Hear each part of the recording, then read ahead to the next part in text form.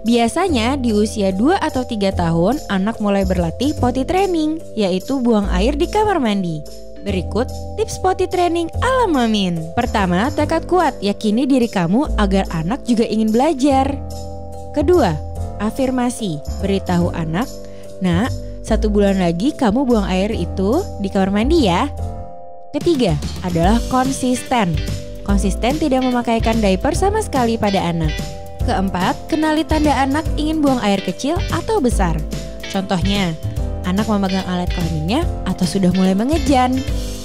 Kelima, ekstra persiapan. Misalnya, taruh tisu basah atau lap dekat anak agar ketika anak pipis di lantai, ibu bisa langsung membersihkannya. Keenam, yaitu sabar.